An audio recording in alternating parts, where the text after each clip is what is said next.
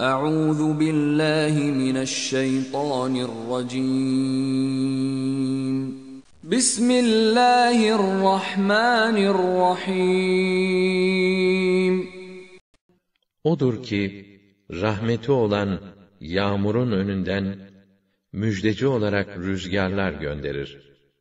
Nihayet bu rüzgarlar o ağır bulutları hafif bir şeymiş gibi kaldırıp yüklendiklerinde bakarsın biz onları ekinleri ölmüş bir ülkeye sevk eder, derken oraya su indiririz de, orada her türlüsünden meyveler, ürünler çıkarırız. İşte ölüleri de böyle çıkaracağız. Gerekir ki düşünür ve ibret alırsınız.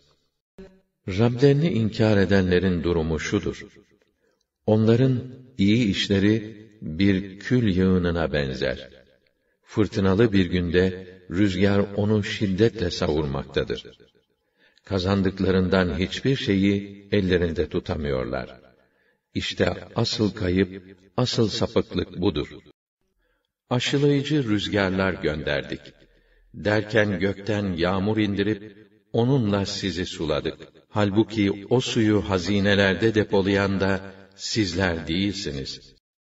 Karada sizi yerin dibine geçirmesinden yahut çakıl savuran bir kasırga göndermesinden emin mi oldunuz? Sonra kendinize bir koruyucu da bulamazsınız. Süleyman'a da şiddetli rüzgara amade kıldık. Rüzgar onun emriyle kutlu beldeye doğru eserdi. Çünkü her şeyin gerçek mahiyetini biz biliriz. Rüzgarları rahmetinin önünden müjdeci olarak gönderen de odur. Ölü diyarlara hayat vermek ve yarattığımız nice hayvanlara ve insanlara su vermek için gökten tertemiz suyu da biz indirmekteyiz. O nesneler mi üstün, yoksa size karanın ve denizin karanlıklarında yol gösteren ve rahmetinin müjdecisi olarak rüzgarları gönderen mi? Hiç Allah ile beraber başka tanrı mı olur? Elbette olmaz. Allah müşriklerin şirk koşmalarından münezzehtir. Onlardan her birini kendi suçu sebebiyle cezaya çarptırdık. Kiminin üzerine taş yağdıran bir kasırga gönderdik. Kimini korkunç bir gürültü bastırıverdi. Kimini yerin dibine geçirdik. Kimini de suda boğduk. Allah onlara zulmetmedi. Onlar asıl kendi kendilerine zulmettiler. Onun varlığının ve kudretinin delillerinden biri de, size rahmet eserlerini tattırması, emriyle gemilerin akıp gitmesi ve onun lütfundan nasip aramanız ve şükretmeniz için rüzgarları müjdeci olarak göndermesidir. Allah o azamet sahibidir ki rüzgarları gönderir. Rüzgarlar bulutları kaldırır. Sonra o bulutları gökte dilediği gibi yayar ve parça parça dağıtır. Bir de bakarsın ki aralarından yağmur akıp duruyor.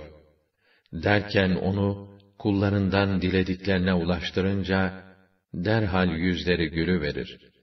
Eğer biz onlara sıcak, kavurucu bir rüzgar göndersek, onlar da o yeşillikleri sararmış, kavrulmuş görseler, ondan sonra nankörlük etmeye koyulurlar.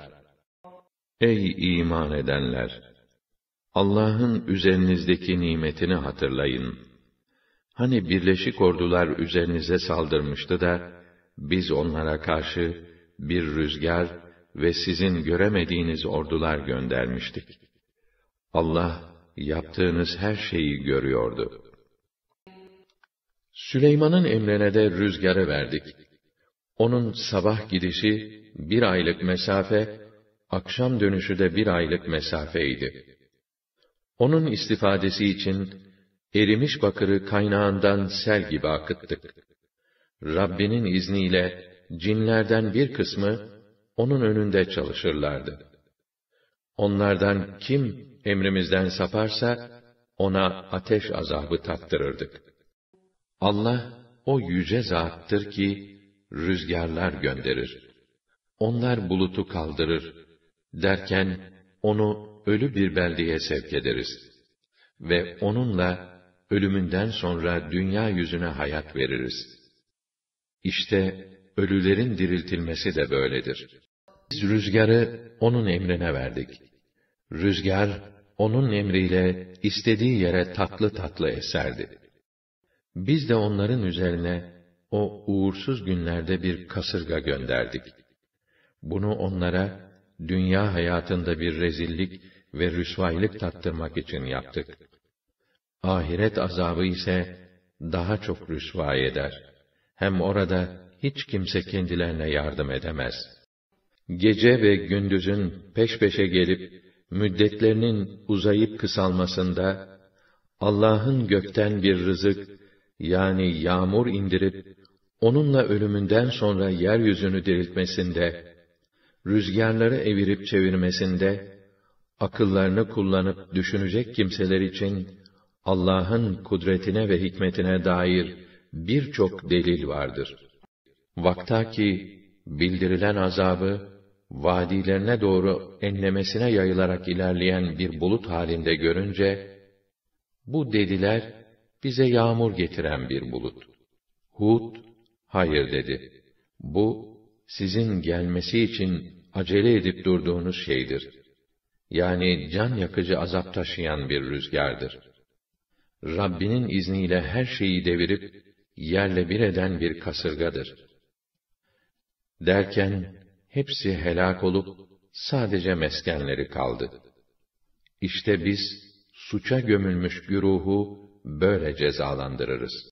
Ad halkında da alınacak dersler vardır.